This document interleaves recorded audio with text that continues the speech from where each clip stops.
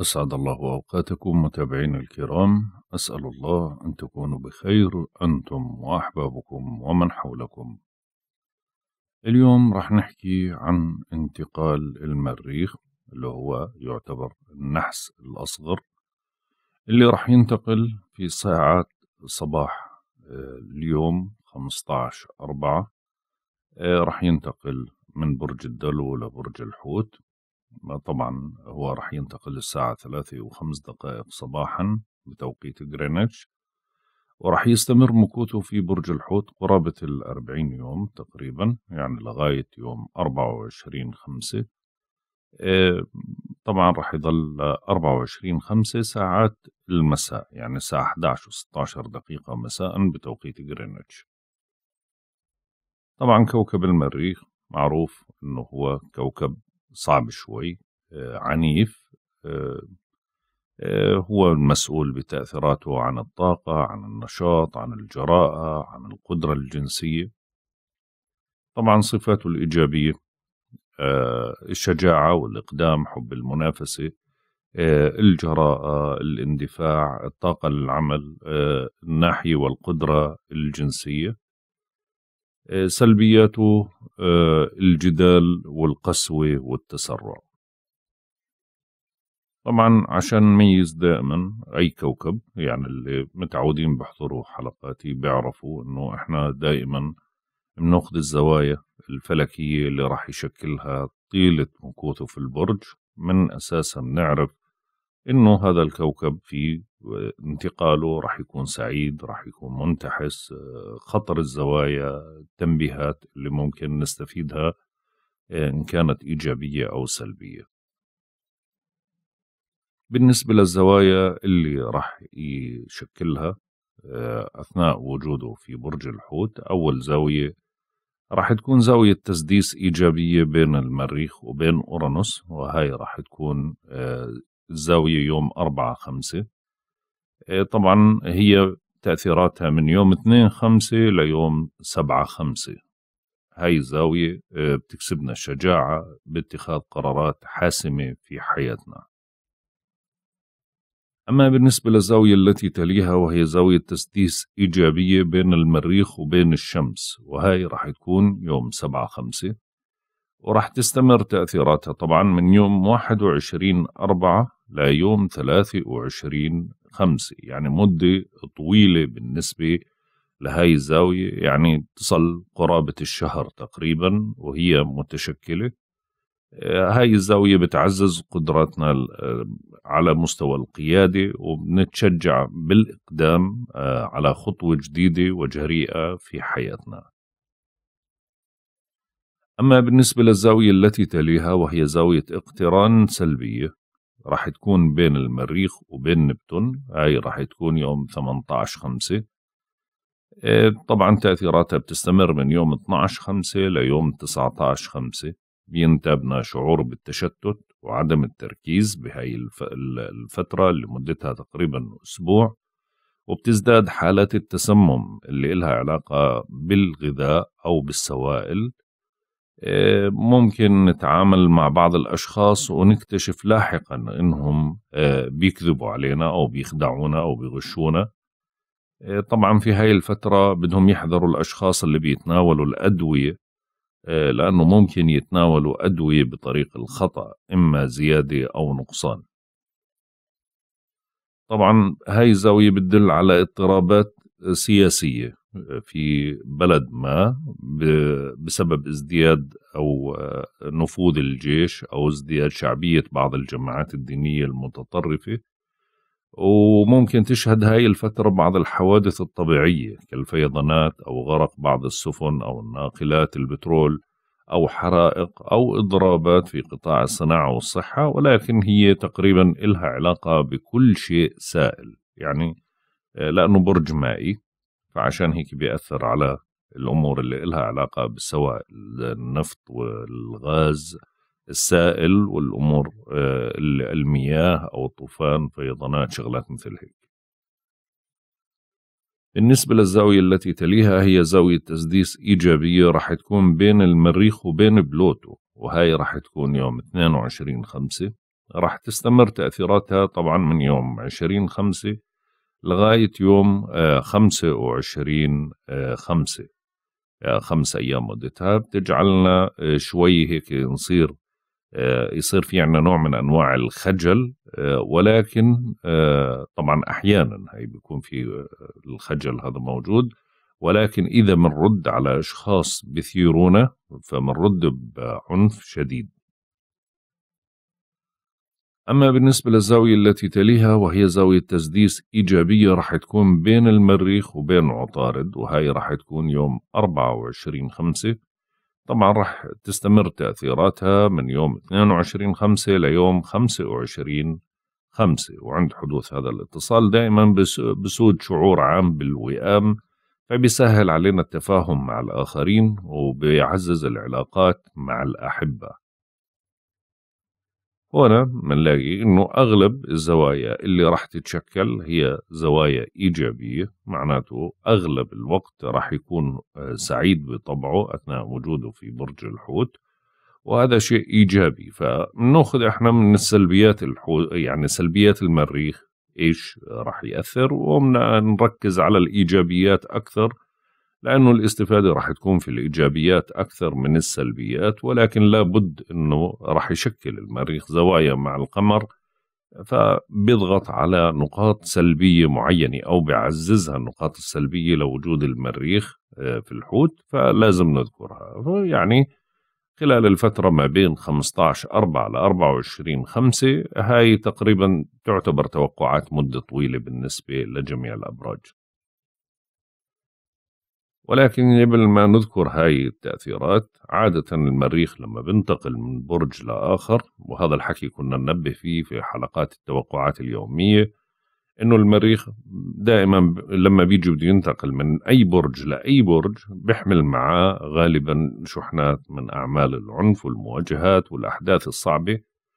هاي المرة بما إنه راح يدخل على برج مائي فاحتمال وقوع حوادث إلها صلة بالماء والسوائل غير التفجيرات والأمور هاي فهي بتزيد عليها كغرق بواخر أو آه، عبارات أو تسرب نفط أو من أحد الناقلات. يعني أمور لها برضو علاقة بالسوائل غير الأمور المناخية. بشعروا مواليد برج الحوت بالفترة اللي ذكرناها ما بين 15 4 و 24 5 بالطاقة والحيوية والجراءة والرغبة الجنسية وبيستفيد معهم الأبراج المائية أكثر شيء اللي هم آه، والترابية السرطان العقرب الثور العذراء الجدي. وكل شخص تواجد عنده في ساعة ميلاده آه، كوكب المريخ في برج الحوت. طبعا لازم هسه نذكر تأثيرات كل الأبراج إيش اللي بدهم يستفيدوا يحذروا منه إيش اللي بدهم يستفيدوا منه عشان على الحالتين يعني آه، تكونوا متيقظين بالفترة القادمة وتعرفوا تستغلوا الفرص وتنتبهوا من التحذيرات اللي بنذكرها برج الحمل. بالنسبة لمواليد برج الحمل بما إنه هو في بيت متاعبكم راح يتواجد فبدهم يحذروا مواليد برج الحمل من أشخاص بتتآمر عليهم من وراء الكواليس. برضو بدهم يحذروا إنه في خلال الفترة هاي الأربعين يوم إنه ما يدخلوا أماكن مجهولة بالنسبة لهم يعني عادة يخلوهم في أماكن معروفة آه، بيكون أفضل. بيميلوا آه، بفترة الأربعين يوم هذول للاندفاع بسرعة متخطيين كل العقبات. عندكم طاقة كبيرة وجراءة كبيرة على مستوى العمل مع المؤسسات الكبيرة ومع شركات أو مع آه، حتى أمور إلها علاقة بالقانون. برج الثور.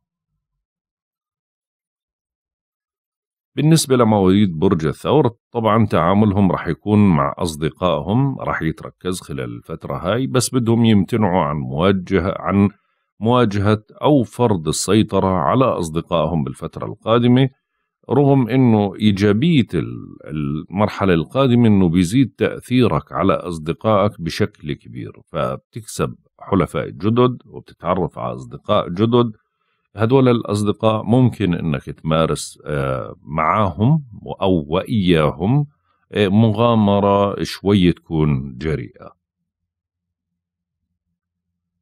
برج الجوزاء. بالنسبة لمواليد برج الجوزاء بدهم آه، يتجنبوا الدخول في أي مواجهة مع المسؤولين في مجال عملهم. وبرضه ما يتغيبوا ويختلقوا مشاكل إلها علاقة بالعمل آه، مع أشخاص يذو نفوذ أو مع مسؤولين. ممكن آه، هاي الفترة آه، إنك تحقق بعض الأهداف المهمة اللي بتسعى لها ولكن بدك تستغل ذكائك بدون مخالفة قوانين. برج السرطان. اللي عنده سفر من مواليد برج السرطان بده يتفقد كل أمتعته أول إشي وبده ينتبه أثناء قيادته على الشوارع المفتوحة من الانفعال اتجنبوا بالفترة هاي القضايا القضائية. قدر الإمكان مش مناسبة لرفع قضايا آه، قضائية بالفترة هاي أو إنكم توصلوا شيء للقضاء. أما بالنسبة لإيجابية الموقف بتميلوا لتتبع آه، اندفاعاتكم وممكن تتخذوا قرارات مفاجئة أو تقوموا بخطوة مهمة جدا في خلال الفترة القادمة وممكن تقرر السفر دون سابق إنذار أو سابق استعداد. برج الأسد بالنسبة لمواليد برج الأسد بدهم يحذروا من أي شراكة مالية في خلال هذا الشهر. يعني أو الأربعين يوم بدك تتأكد من كل المعطيات تراجع عقودك تستشير أهل الاختصاص. ما في داعي إنك تتخذ قرار لحالك ارتجالي. ولكن لأنه برضو التحذير اللي بدي أحذرك منه لأنه أنت رح تميل لقبول التحديات من أجل إثبات قدراتك وهذا الشيء اللي إحنا بنخاف منه أنه هذا الشيء رح يحفز عندك الجراءة لأنك تدخل في الأمور وبعدين إذا كان الوضع سلبي ممكن ينعكس عليك سلبا أكثر من الشيء الطبيعي. العذراء. بالنسبة لمواليد برج العذراء طبعا هي بتركز على الشراكة العاطفية والشراكة المالية وعلاقتكم علاقاتكم بشركائكم.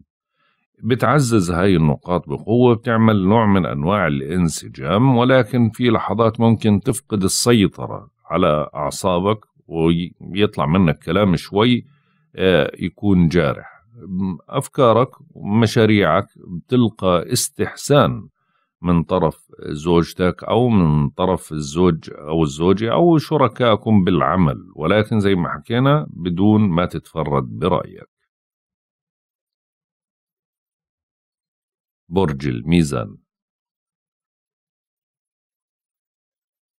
بالنسبة لمواليد برج الميزان طبعا هو بيركز على العمل لا سيما بالعلاقات أو في علاقاتك مع الزملاء حاول قدر الإمكان تضبط أعصابك بدون مشاكل مع زملائك وبدكم تمتنعوا عن رفع حاجيات ثقيلة عن الأرض لأنه أسفل الظهر بكون حساس عند مواليد برج الميزان.